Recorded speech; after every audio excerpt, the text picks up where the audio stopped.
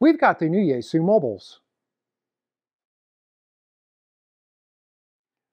Welcome back to the DX Engineering channel. I'm Michael, KI8R. Today, I'm really excited to give you a first look at the three new Yaesu mobiles that have just arrived at DXE. So let's dive right in with the new Yaesu FTM 150 RASP. The 150 RASP is similar to the FTM 500DR, except that it's only analog. It has a heavy-duty heatsink with a fan that pulls air through the radio to cool it.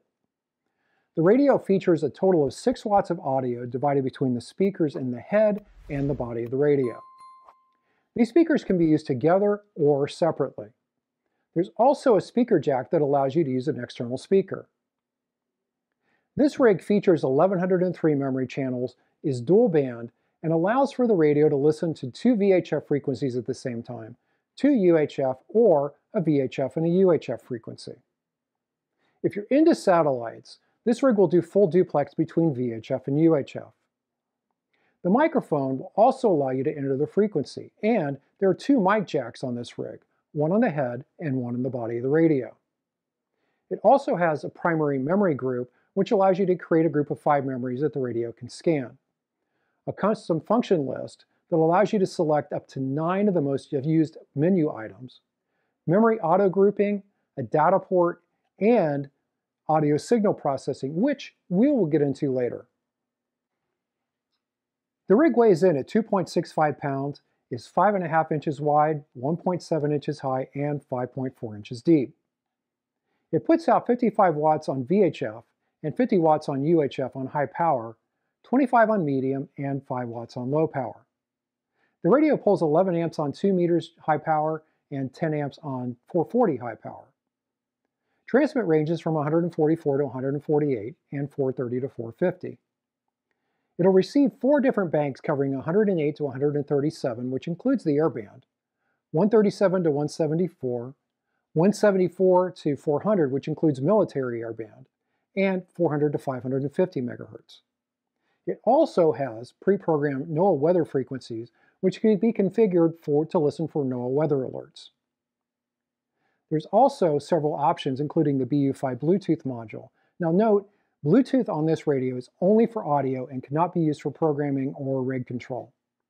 There's also an optional voice guide module and a swing head kit that allows for the control head to be a pivot while it's still mounted to the body of the radio. Note that this radio does not do APRS, but it does come with a three-year warranty. One other feature this radio has that the 3165 and 3185 do not is the ability to change the color of the display.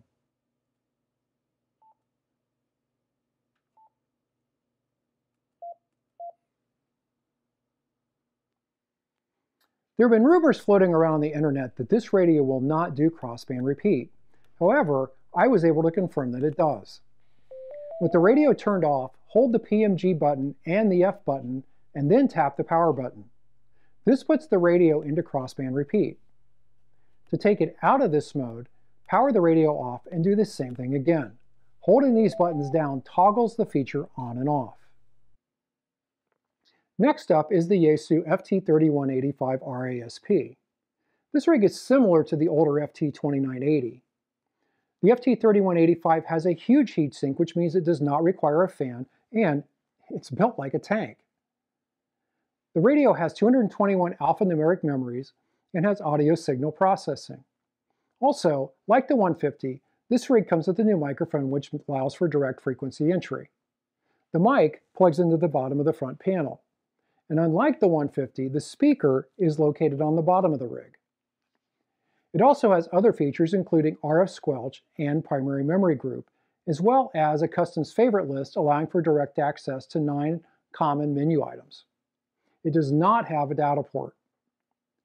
This rig weighs in at a hefty 4.2 pounds and is 6.3 inches wide, 2 inches tall, and 7.3 inches deep. It also has four power levels of 85, 50, 20, and 5 watts, and requires 15 amps on transmit. Transmit range is from 144 to 148, while the receive range is from 136 to 174. Note that there is no airband reception on this rig, but the NOAA weather frequencies are pre-programmed and can be configured for weather alerts. This radio also comes with a three-year warranty. And last but certainly not least is the new Yaesu FT3165 RASP.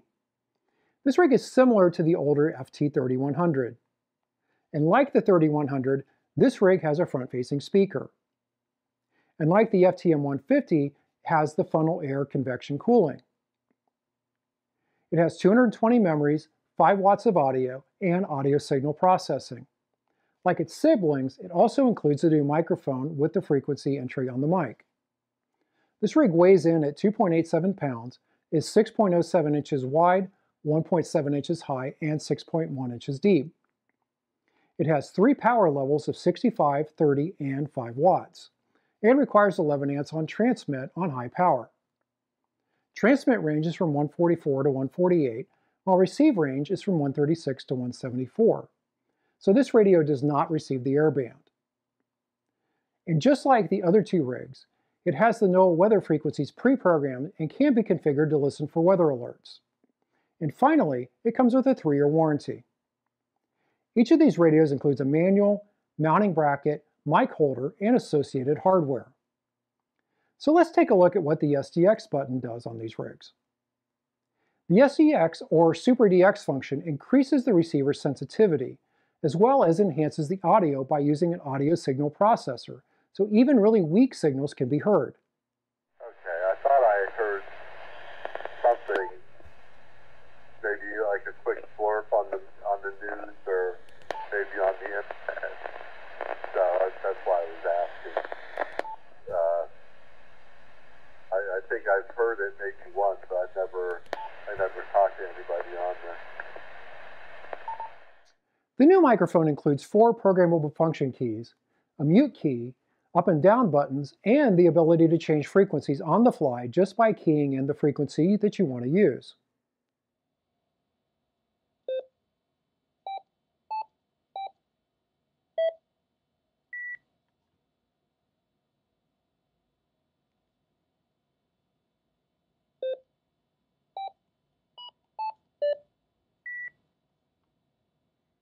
So who are these radios for?